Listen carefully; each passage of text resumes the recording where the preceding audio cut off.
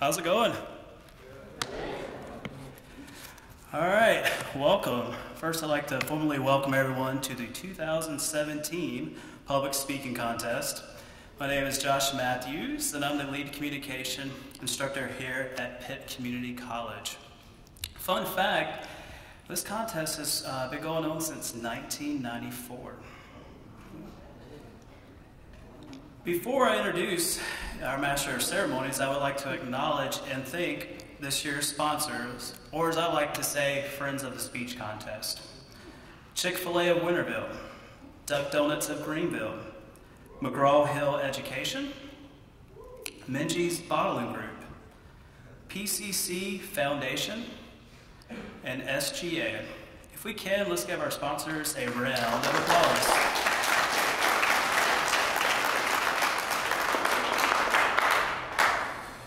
All right, me introduce our Master of Ceremonies. I know all of you are disappointed that you won't be able to hear my lovely voice, but I think that is a, um, a good thing. all right, Maurice Northern of Greenville is a second year student here at Pitt Community College. As a business major, he is also a very active member on campus. He serves as the SGA president, trust board member, as well as Bruiser's Crew mentor, among other things. Maurice enjoys poetry, music, and writing poetry in his spare time. Please give a warm welcome to our Master of Ceremonies, Maurice Northern.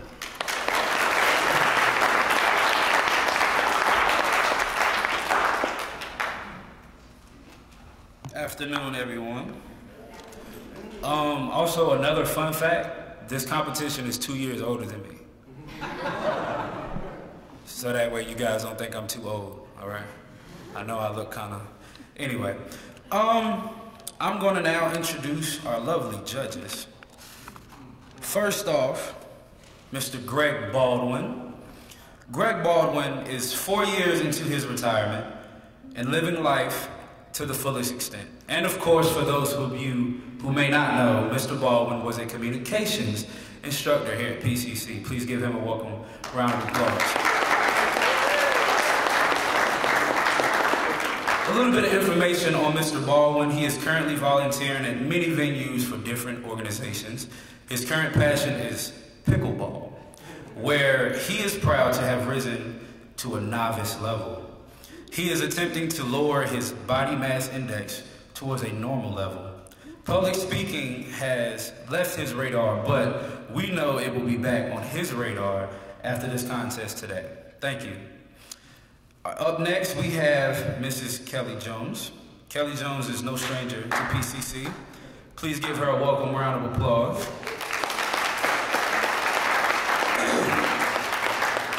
She used to guide the studies of communications here at PCC in the role of lead communication instructor. Ms. Jones earned Teacher of the Year, served, at, served on a SACS accreditation team, and was involved in many other activities at Pitt CC. In her time, since, she's, since departing PCC, she enjoys blogging about her travels and her two adorable Labradoodles, Paddington and Sawyer. Round of applause, please. And last but not least, we have Mr. John Rincon. Please give him a round of applause as well. Mr. Rincon was born in Queens, New York. He is an executive learning technology representative for McGraw-Hill. Fun fact, he has also played hockey for 50 years. That is a long time. That's the only great reaction I got. Dead silence. he needs a round of applause for being able to stand 50 years of cold. That is, wow. Okay. All right, I'm gonna go over the rules of this contest for those of you who are not familiar. Um, students have been, students competing today, sorry, signed up about a month ago. Our three judges will be the judge, will be judging on the following 10 criteria. Introduction, outside sources, logical reasoning, organization, language, vocal variety, conclusion, poise, eye contact, and overall impression. The topic of discussion will be as follows. Each decade brings its own set of challenges requiring well researched and thoughtful solutions. What do you think is the top social issue facing us today? Global warming, homelessness, living wage, crime, or some other concern? Gather research from credible sources to help you examine your topic and select your content for your approach. Narrow your focus to a single issue. Consider these questions as you develop your speech. What factors impact the issue? How important is it to address this issue? And what can be done to positively address the issue? Each speech will be between four and five minutes. Any presentation under four minutes or over five minutes will have a point penalty. Now, I will be introducing our first speaker. Our first speaker is Zach Martinez. If you will please come to the front. You can get him. Zach Martinez, his hometown is Wake Forest, uh, North Carolina, but he was born and raised in San Jose, California. His major is applied sociology, and he plans to return to East Carolina University to finish that degree. He has plans to obtain a master's degree from, from that as well. Lastly, Zach works with an organization of New Greenville. Please give a welcoming round of applause for Zach Martinez.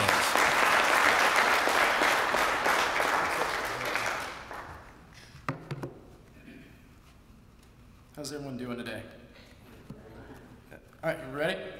Good? Good on time. All right, cool. Each decade brings new social issues, global warming, uh, healthcare, poverty, etc. But the issue I find most important today is genocide. It's a controversial issue because it's hard to define and it's hard to agree on what that definition actually is. Today I want to discuss how genocide occurs and what genocide actually is, uh, where it takes place, and what can be done to prevent this issue. Um, this, genocide is a topic that's always been important to me. Uh, I took a class in high school called Holocaust and Genocide. It really opened up my eyes to this topic and how important it is because it continuously happens.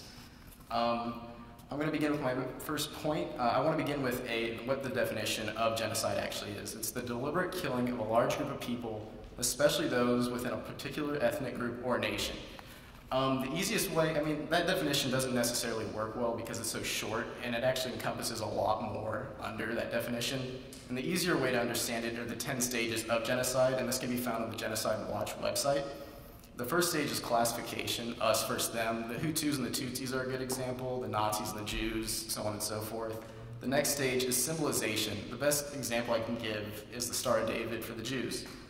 Uh, the next stage is discrimination, where the policies change for these certain groups of people and they're denied rights. Um, the, next, uh, the next stage is dehumanization. Uh, these people, these groups of people referred to as insects, animals, vermin, or a disease on society. The next stage is organization, which the state, usually the country involved, sponsors militias to diffuse responsibility and put that on militias and to deny it on themselves. Uh, polarization follows where the groups are driven apart and you silence the moderates, the people who are, aren't part of that group, who were caught in the middle. Uh, the next stage is preparation, which is buying weapons, creating a plan. Uh, the best example I can give is the final solution by the Nazis that was written out. Uh, the next stage is persecution, where the victims are identified, lists are drawn up, and those groups are separated, put into ghettos, and so on. Uh, extermination follows, and to the killers, it's viewed as an extermination because the people are viewed as vermin, animals, a disease on society. And, but this is the point when the mass killings actually become genocide. Uh, the, the, following stage is denial, and this is where the countries or the people involved, the perpetrators, try to cover up evidence. Uh, the best example of this I can give is Turkey today, where a genocide, the Armenian genocide, occurred in the early 1900s, but they've yet to confirm that it's a war to them, but to others it is a genocide. My next point, uh, I'd like to begin with a quote from Elie Wiesel, and Elie Wiesel was a Holocaust survivor. Uh, he's quoted in saying never again. There's more to that, that, but he's known for saying never again. However, these things currently happen today with the Islamic State or ISIS against the Yazidi, the Shia, and the Christians. Uh, genocides have happened throughout history. The United States versus the Native Americans, Nazi Germany versus multiple groups, the Cambodia genocide with Khmer Rouge, and that genocide was against intellectuals and people connected to the former government. Throughout the 20th century, six to seven genocides have occurred, but that number is argued because it is, again, hard to define exactly what a genocide is. Um, my final point I'd like to make is how, what can be done to prevent genocide? And there's no sure way to stop genocide because it, it takes a whole society for it to happen the, to begin with. Um, through the website End Genocide, the, what they recommend is to sound the alarm and demand action. Hold the leaders accountable who commit these atrocities. You can stop the enablers because it's not just one country that takes control and commits genocide, it is others, it's corporations and other countries, it's a collective effort. And the next and the final recommendation that they have is to make human rights and genocide prevention a value of the U.S. foreign policy. Um, in closing, uh, I'd like, in closing today I've discussed uh, how genocide occurs and what genocide is, where it has happened, and what can be done to prevent genocide. In my final statement, I'd like to say, we keep saying never again, but these atrocities continue to happen today. It takes everyone to prevent these atrocities, and it's a collective effort. Thank you.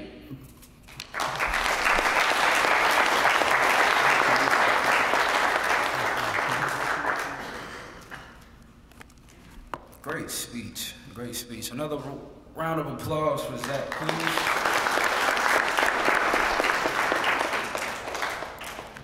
Now, um, we have a very special uh, speaker coming to the stage because he decided he didn't want a bio because he's cool like that. Please put together your hands for Timothy Battle.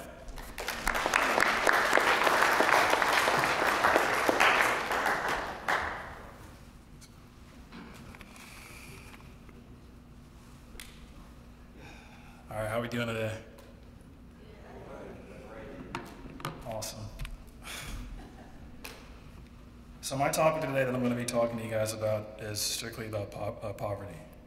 My name is Timothy Battle, and today I'm going to be addressing the state of poverty in America. In today's day and age, we as a nation are divided by so many borders forged by religion, financial status, class, education, politics, sexuality, and so on. Amongst this list resides two very striking issues that divide mankind for, that have divided mankind for centuries. Poverty and religion.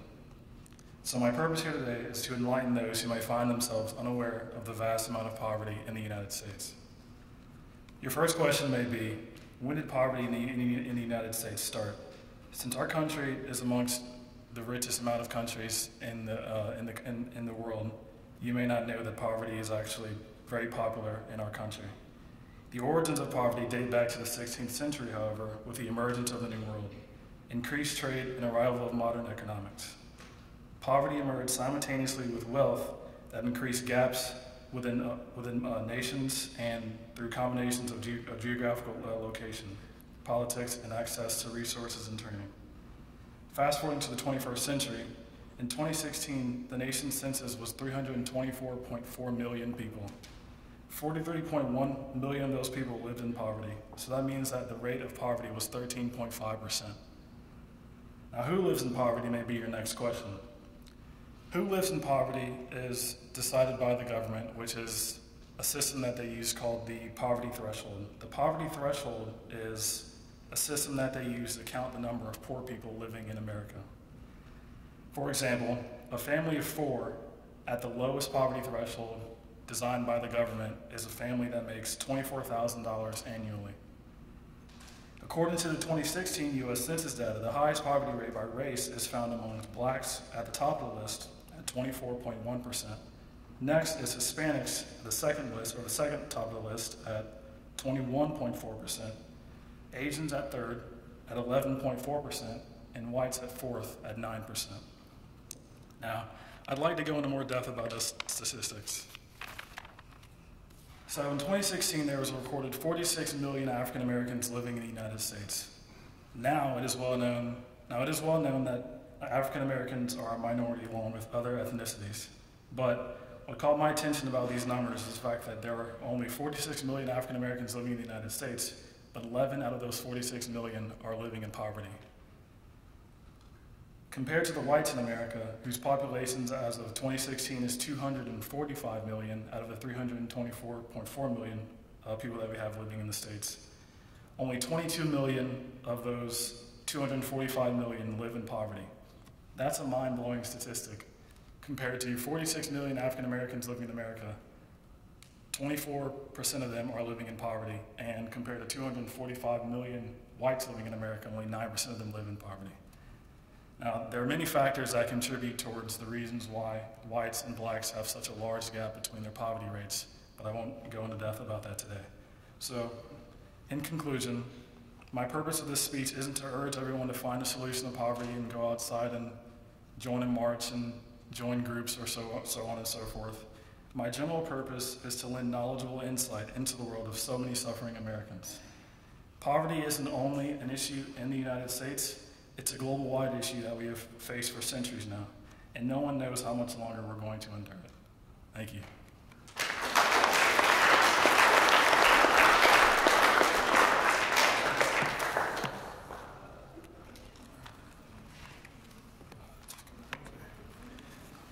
One more round of applause for Mr. Tim.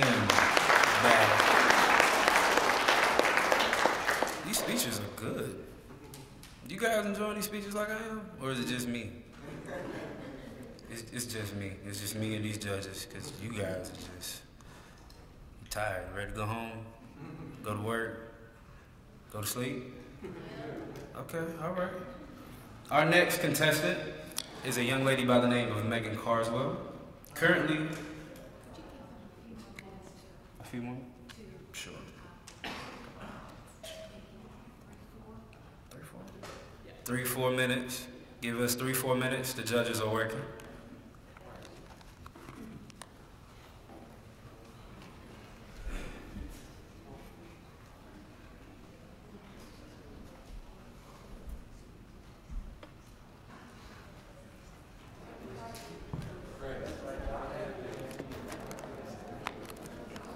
All right. Our next contestant is a young lady by the name of Megan Carswell. Currently completing third semester at Pitt CC, she has been accepted to Liberty University in Lynchburg, Virginia. She plans to attend Liberty this fall, hopes to double major in global studies and child development. She's very interested in martial arts, and she recently tested for first degree black belt in Taekwondo. She loves to travel overseas and intends to learn more about other cultures and lifestyles. An ideal job for Megan will be working overseas as a child life specialist, helping youth that have endured trauma.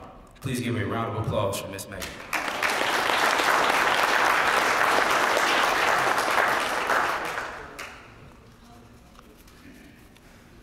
All right.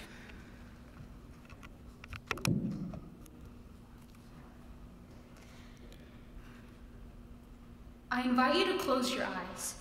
Imagine the of a dark room. You are trapped against your will. Imagine the helpless, numbing sensation of not being able to decide what you will do next. You are a puppet marionette, trapped and controlled by a crafty, conniving mastermind. Imagine an incessant pain that seeps to your bones. You see, you are forced to work countless hours in one day with little to no sleep, and a scant amount of food is given to you not as a right, but a reward. This is modern day slavery, and this affects millions of people around the world today. You may open your eyes now, but only if you are really ready to see because once you know about something, you no longer have the excuse of not knowing. As the great social activist William Wilberforce once said, you may choose to look the other way, but you can never again say that you did not know. In five minutes, I cannot fully inform you on human trafficking, but I can pique your interest. In this speech, it is my hope to answer the questions what is human trafficking? Where does it happen, and why should you get involved? The Department of Homeland Security defines human trafficking as modern slavery, and it involves the use of force, fraud, or coercion to obtain some type of labor or commercial sex act. This atrocious beast swallows millions of men, women, and children every year. So, where does this happen? Of the millions of people it affects, it is not a respecter of persons. It does not differentiate between race, age, ethnicity, gender, religion. It, it sees none of that. Anyone could be a victim. Amanda Kloer, editor of Change.org, writes in a CNN Freedom Project article while poverty, lack of education, and belonging to a marginalized group are all factors of being trafficked, Victims of modern day slavery have included children of middle class families, women with college degrees, and people from dominant religions and ethnic groups. Human trafficking does not only happen overseas. The DHS has also informed us that human trafficking has been reported in every state. And our beloved North Carolina ranks number eight for those with the highest activity of human trafficking. So, why should you get involved? Human trafficking just isn't in your town, it could be in your home. Since human trafficking's victims are forced to make many of the products we use every day. Kloer from CNN Freedom continues to say if you are wearing gold jewelry, athletic shoes, or cotton underwear, you might be wearing something made by slaves. And your home contains a rug, a soccer ball, a cell phone, I know we all have those, or Christmas decorations, then slavery quite possibly is in your house. You should get involved in the fight against human trafficking because unknowingly you could be supporting and contributing to this business. To conclude, I hope you can now define human trafficking, know where it happens, and why you should get involved. One of the biggest ways to fight this beast is to spread awareness. I'll never forget, after speaking to a group of teenagers, educating them on this issue, a young girl walked up to me in tears and embraced me. She whispered, Thank you so much for talking to us. This almost happened to me. Now I know its name. When we stand together, and shed a light in the darkness, shed a light, the darkness is forced to become small. And so I urge you to pick up your torch so that we can expose the underbelly of human trafficking to the light and cause it to flee. You decided to open your eyes, but choosing to see is not enough. So I ask, what will you do with what you now know? Thank you.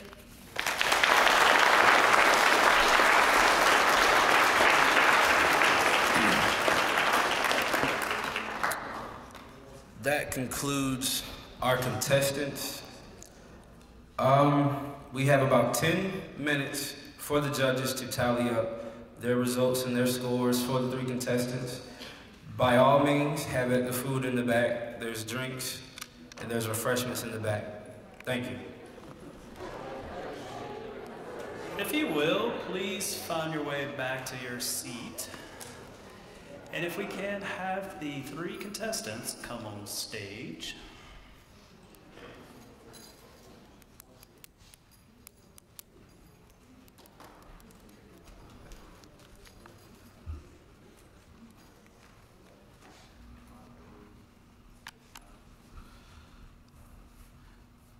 All right, everyone, let's give them another round of applause for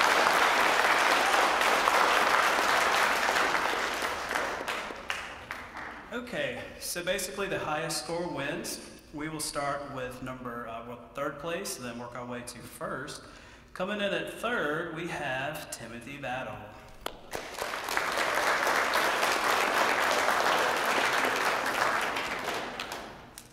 In second place, we have Zach Martinez. And you guessed it, our winner of this year's public speaking contest is Megan.